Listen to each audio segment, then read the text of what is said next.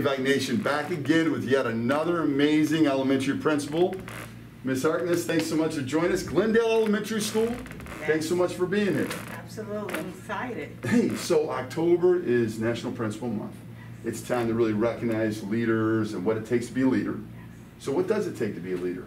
I think what it takes to be a leader is that you have to have, a, first of all, have a growth mindset, and you always have to value the individual over the task. And I do it every day. That's great, that's great. Hey, so what are some challenges about being a principal? Oh, boy.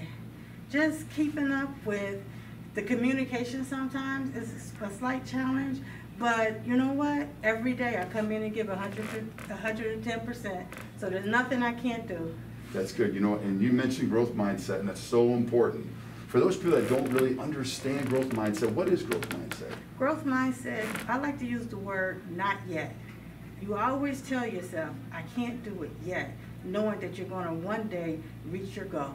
Yeah, big difference between saying I can't do it, but you want, there's some words missing. Yes. I can't do it yet. Yet. Or, I don't know, not yet, right? Correct. Yeah, so critical. Hey, so this is, uh, we're in a kindergarten classroom. We're talking about writing already. Kindergarten classroom, amazing, right? Amazing. They get after it right away. We have an amazing group of kindergartners. You would be so excited to see how they're writing, reading. They know their numbers already. See, that's wonderful. Well, Karen, thanks so much for joining us. Certainly appreciate it. Appreciate you taking on the task of being a principal. Love it here. That's awesome. Thanks again, and of course, as always, go Vikes.